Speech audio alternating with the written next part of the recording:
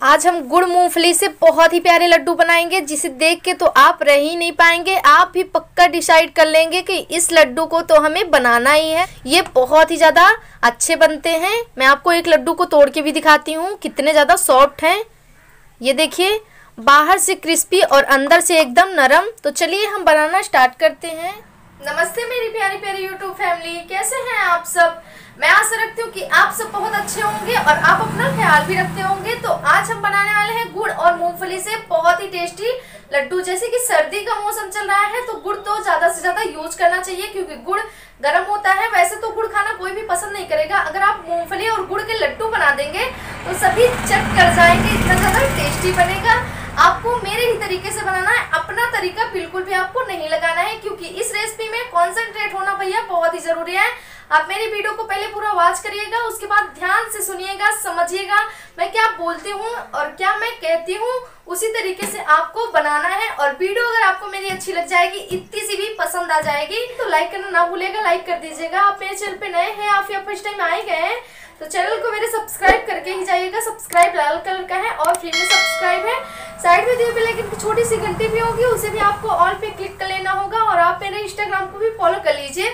अगर अभी तक नहीं किए हैं तो लिंक मैंने डिस्क्रिप्शन में दे रखा है। गुड़ और मूंगफली के लड्डू बनाने के लिए हमें चाहिए मूंगफली, यानी कि पीनट्स इसे मैंने 400 ग्राम ले रखा है, एक कप में 200 ग्राम है और दूसरे कप में भी 200 ग्राम है। आप चाहे तो सिर्फ़ 200 ग्राम से ही बना सकते हैं। सबसे पहले तो हम अच्छी तरीके से अपने पीनट्स को रोस्ट करेंगे। पैन को मैंने गर्म होने के लिए चढ़ा दिया है और सारी पीनट्स को हम डाल देंगे पैन में। और इसे हम ड्राई रोस्ट करेंगे। इसमें घी वगैरह कुछ भी नहीं डालना है।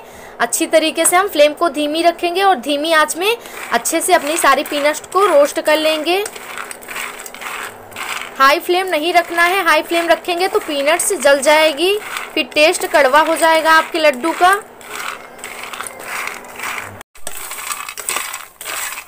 सारे मूंगफली को मैंने भूनते हुए पका लिया है और देखिए कितना बढ़िया कलर आ गया है। और जली बिल्कुल भी नहीं है तो ऐसे ही आपको धीमी आँच में पकाना है मूंगफली को। एक मूंगफली को लेके हम इस तरीके से इसके छिलके उतारेंगे तो देखिए कितने इजीली इसके छिलके उतर रहे हैं। तो बस अच्छे से अगर भुन जाएगी तो छिलके इसी तरीके से उतर जाएँगे, एकदम क्लीन हो जाएगी। तो अब हम सारी मूंगफली को अपने निकाल लेंगे एक प्लेट में और इसके छिलके उतारेंगे हम। हम ले लेंगे कोई एक साफ़ कपड़ा और इस तरीके से फैला देंगे और इसके ऊपर हम डालेंगे सारी पीनट्स को। ध्यान रखिए पीनट्स ठंडी होनी चाहिए। मूंगफली अच्छी तरीके से ठंडी हो जाए, तभी आपको डालना है। ऐसे हम डाल देंगे और बचे हुए कपड़े से इस तरीके से इसे रगड़ के साफ़ करेंगे। ऐसे करेंगे ना तो छिलके उतारना काफ़ी आसान हो जाता है और सारे छिलके बहुत ही इजीली निकल भी जाते हैं। ये देखिए, छिलके कितने आराम से निकलने लगे हैं। तो बिल्कुल इसी तरीके से हमें सारे छिलके अपने उतार देने हैं, सारे मूंगफली के ऊपर से। आप चाहें तो हाथ से भी निकाल सकते हैं, ऐसे भी देखिए, ऐसे निकालना आसान होता है। तो आपको जैसा ठीक लगे, आप उसी तरीके से निकाल सकते हैं। अगर मूंगफली अच्छे से रोस्ट होती है, भुनी हुई होती है तो इस तरीके से काफ़ी इजीली निकल जाते हैं छिलके। इसी तरीके से हम सारे छिलके को अपने निकाल देंगे। सारे छिलके मैंने उतार दिए हैं और देखिए मूंगफली कितनी अच्छी तरीके से क्लीन हो गई है, साफ़ हो गई है। तो अब हम आगे का प्रोसेस करते हैं। मैंने ये कढ़ाई चढ़ा दी है गरम होने के लिए और ध्यान रखिए, आप जिसमें चिक्की बनाएँ या फिर ये लड्डू बनाएँ, गुड़ आपको जब भी कभी मेल्ट करना हो तो आप मोटे तले का बर्तन यूज़ करें जिसका बेस मोटा होना चाहिए। इससे गुड़ काफ़ी अच्छी तरीके से मेल्ट होता है। और पतले वाले बर्तन में आपको बिल्कुल भी नहीं करना है। तो अब हम कढ़ाई में डाल देंगे ये सारा गुड़। अच्छी तरीके से हम इसे मेल्ट होने देंगे और इसमें हम डाल देंगे एक टेबल स्पून देसी घी। और अच्छी तरीके से घी को भी हम गुड़ के साथ मेल्ट करेंगे, पिघल जाने देंगे। घी डालने से एकदम लाइट होता है कलर गुड़ का।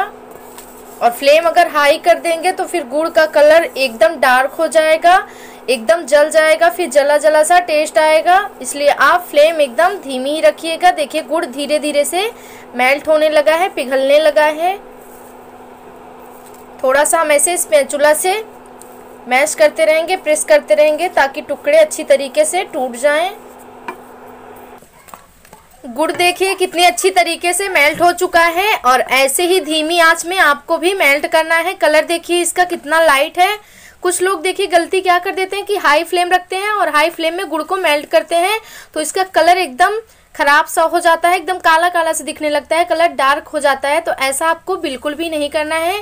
गैस की फ्लेम आपकी जितनी धीमी रहेगी, उतना ही अच्छा लाइट कलर आएगा। अच्छी तरीके से हमें अभी इसे और पकाना है। कटोरी में लेंगे हम थोड़ा सा पानी और कुछ ड्रॉप हम इस तरीके से डालेंगे पानी में और अच्छी तरीके से ठंडा होने देंगे। उसके बाद हम देखेंगे कि ये लड्डू बनाने की कंसिस्टेंसी में आ गया है या फिर अभी नहीं आया है। ठंडा होने के बाद हम देख लेते हैं इसे इस तरीके से निकाल के। तो ये देखिए, अभी ये टूट बिल्कुल नहीं रहा है, ये खींच रहा है। आप देख रहे हैं ना कैसे खींच रहा है इस तरीके से। तो ऐसा नहीं खींचना चाहिए। इस तरीके से अगर खींचेगा तो दांत में चिपक जाएगा खाते समय। तो आप ध्यान रखिएगा, ये टूटना चाहिए, ऐसे हम खींचेंगे तो ये टूट जाएगा।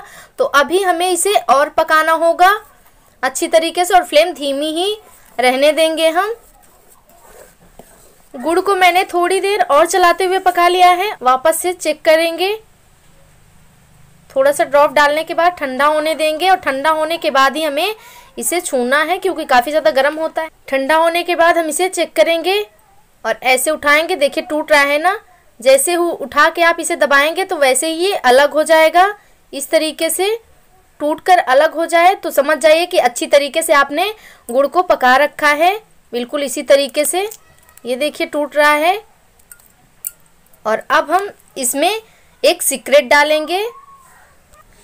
सीक्रेट हमारा ये है कि हम इसमें डालेंगे आधी छोटी चम्मच के करीब बेकिंग सोडा, जिसे मीठा सोडा बोलते हैं, और अच्छी तरीके से मिक्स करेंगे। अभी इसका रिएक्शन देखना आप। इससे कलर लाइट हो जाएगा और थोड़ा सा फूल भी जाएगा ये। बैटर देखिए कितने बढ़िया तरीके से फूल गया है। इस तरीके से बैटर हो जाना चाहिए तो फटाफट से हम इसमें सारी पीनट्स अपनी डाल देंगे। और अच्छी तरीके से मिक्स करेंगे। फ्लेम एकदम धीमी रखेंगे हम, क्योंकि ठंड का मौसम है तो ये काफ़ी जल्दी से सेट हो जाएगा और अच्छी तरीके से मिक्स कर लेंगे। अच्छे से देखिए, मैंने मिक्स कर लिया है। अगर आपको चिक्की बनाना हो तो फटाफट से ग्रीस करके किसी थाली में जमा दीजिए, या फिर आप चॉपिंग बोर्ड पे इसे डाल के अच्छी तरीके से बेल के बना सकते हैं। हम तो इसके लड्डू बनाने वाले हैं, इसलिए हमें ऐसे छोटे छोटे इसके टुकड़े कर लेने होंगे इस तरीके से।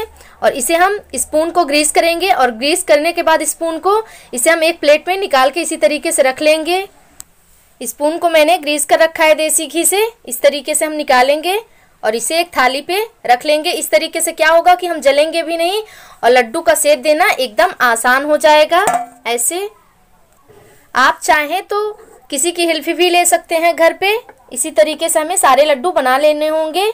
और अभी तो फ़िलहाल इतना ठंडा हो गया है कि मैं इसे हाथ से टच कर सकती हूँ। हाथ को अच्छी तरीके से ग्रीस करना है और लड्डू अपने हिसाब से आपको बना लेने हैं। कितने बड़े छोटे आपको बनाने हैं इस तरीके से। और ये प्रोसेस ना काफ़ी ज़्यादा जल्दी करना होगा। आप हेल्प ले लीजिएगा घर पे, मम्मी सिस्टर किसी की भी। और इस तरीके से देखिए लड्डू हम बना लेंगे। कितने बढ़िया लड्डू लग रहे हैं ना। इसी तरीके से लड्डू हमें सारा बना लेना है अपना। मैंने अपने सिस्टर की हेल्प ले ली है। आप अपनी मम्मी की भी हेल्प ले सकते हैं, क्योंकि ये प्रोसेस काफ़ी ज़्यादा जल्दी करना है। ये देखिए, कितने अच्छी तरीके से लड्डू बने हैं। एकदम साइन करते हुए और कढ़ाई को कैसे साफ़ करना है, वो भी मैं आपको बताती हूँ। इसमें डालना है पानी और पानी को रख देना है हाई फ्लेम पे गर्म होने के लिए। जैसे ही पानी गर्म हो जाएगा, आप साइड में इस पेंचुला के सहारे ऐसे ऐसे करेंगे ना तो ये सारे गुड़ अच्छी तरीके से क्लीन हो जाएँगे और कढ़ाई आपकी एकदम साफ़ हो जाएगी। तो इसे रखते हैं हम साइड में।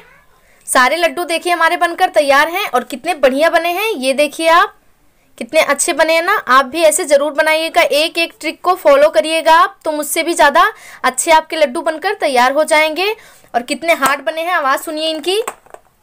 देखिए, कितने अच्छे हैं ना। और खाते ही मुँह में घुल जाएँगे जाते ही। तो ऐसे लड्डू अगर मिल जाए तो खाने की बात ही कुछ और होती है। आप बनाइएगा, घर पे बड़े हो या बच्चे, सभी को खिलाइएगा। और मैं आपको तोड़ के भी दिखाती हूँ कितना ये अच्छा है। ये देखिए, कितने इजीली टूट रहा है ना। एकदम चिकना, एकदम साइन करता हुआ लड्डू कितना प्यारा। और तोड़ने में एकदम मक्खन सा, नरम एकदम। वीडियो अगर आपको अच्छी लगी हो मेरी तो लाइक करना ना भूलिएगा लाइक करके ही जाइएगा। मिलती हूँ मैं आपसे अगले वीडियो के साथ। तब तक आप मुस्कुराते रहिए, अपना ख्याल रखिए, अपनों का ख्याल रखिए। बाय बाय मेरी यूट्यूब फैमिली